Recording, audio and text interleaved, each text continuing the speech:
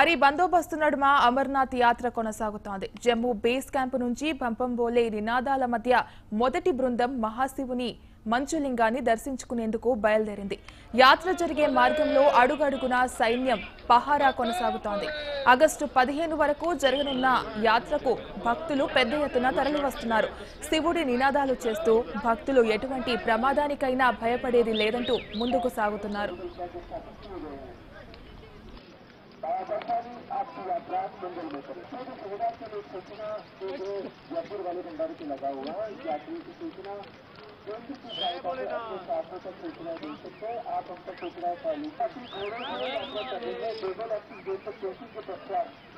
थोड़ा सा आगे यात्रा उनका घोड़े वाला उसको मिलेगा